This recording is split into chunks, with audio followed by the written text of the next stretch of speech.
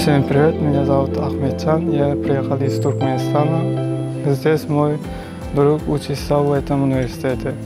Он рассказал мне об этом университете. Раньше я, раньше я хотел учиться за границей, но не мог себе позволить. В этом году у меня появилась такая возможность. Мне все предметы нравится изучать, но самые любимые предметы математика, информатика, русский язык и английский язык.